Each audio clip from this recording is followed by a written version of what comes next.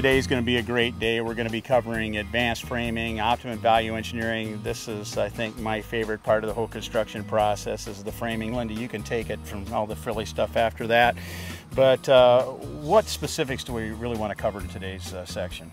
We want to look at some of the actual construction details as far as framing, connections, how we decide what um, type of material we use, how they're all put together so that we get the best use the material. We're back at the uh, West Des Moines Green Home. We've just finished our third session with the professionals and the homeowners, and we wanted to come out to the site and go over a few more things, uh, a little bit more detail, um, and be sure and introduce Dan, the job superintendent, uh, on the site. Uh, I, I, couldn't be happier. I don't think any of us could be happier with the job that uh, Dan and the crew is doing right now, and how, especially how clean it is. I've said it 10 times now, maybe 11. Uh, how nice and clean everything is, and, and, and following the prints, and everything's looking good. But some of the things we really want to highlight, let's go ahead and start with the floor. Um, the floor joists that were put in were I-joists uh, manufactured uh, materials, but then it was uh, sheeted with Advantech flooring. It's, uh, it's an upgrade of a standard OSB. You can tell by some of the labeling that it has a limited 50-year uh, warranty.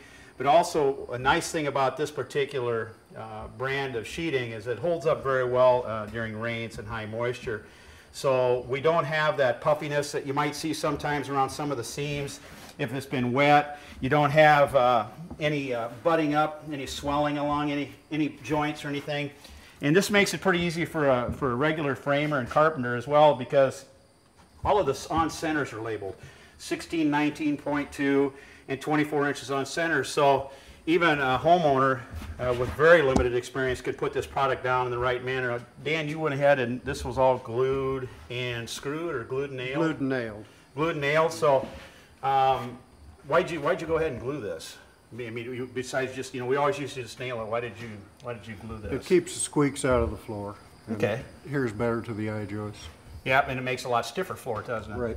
Um, so you've got about the perfect floor system to work off of right now. And, and, to make this building more energy efficient, what, what they did is when they stood the walls up, they used a uh, structural adhesive uh, that we normally would just use to bond the sheeting down to the floor joist. But in this case, they used it when they stood the walls up. So the bottom plate sticks to the floor so that right underneath this area, they, this was just a guiding nail when they set the wall up. And that'll be coming out later.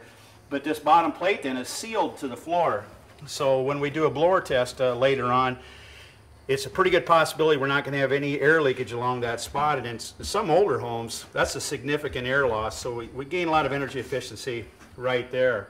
So when we move from the plate up into the walls, this might look like a long ways apart for, uh, for most people, but the house is framed at 24 inches on center. And at 24 inches on center, we allow more insulation, less wood, and uh, it, it, it, you know, there's, there's some concerns I know sometimes about, they think, well, the wood's too far apart. If you get thrown into it, you're going to dent the sheetrock, you're going to do this. Those are just uh, really uh, a non-concern for us. We're really looking at a high-performance wall.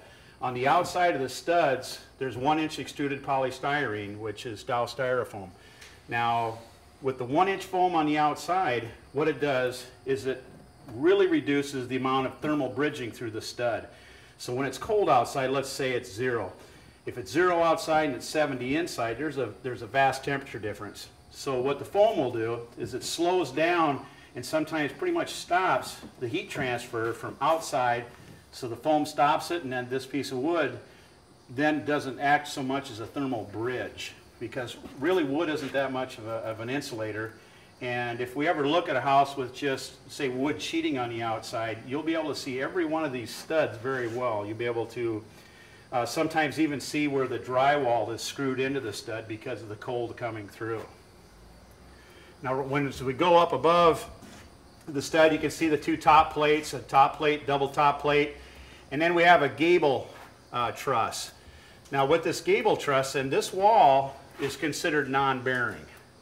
And since it's non-bearing, it means it's really not carrying much of a load except itself. So as, as we look over to the uh, window framing uh, in the other end of the room, as you can see, there's no beam, there's no header up above the window.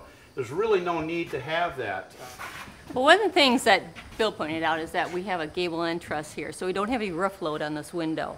Um, when I first started in the business, what we would do is put a header over every window, whether it was carrying load or not. Uh, we see here, since it's not carrying any of the roof load, we can use a regular framing spacing, and down below the window, use the regular framing spacing. One thing we do have to pay attention to is when the window's in, it'll be trimmed out. So we need to make sure that we've got framing to carry that nail pattern as we put the, the window in and the window trim in there. So we've turned this stud flat, so we have a nailer, but then we can still get insulation in there. So we're blocking that thermal bridging again.